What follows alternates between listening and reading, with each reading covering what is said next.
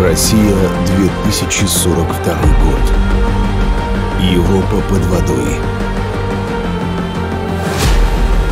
Китай разрушен землетрясениями.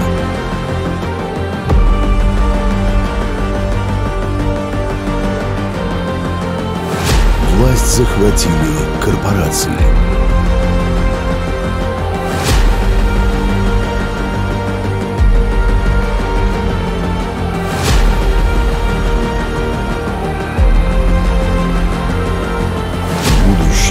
Уже наступило. Призрак 2042 в следующем году.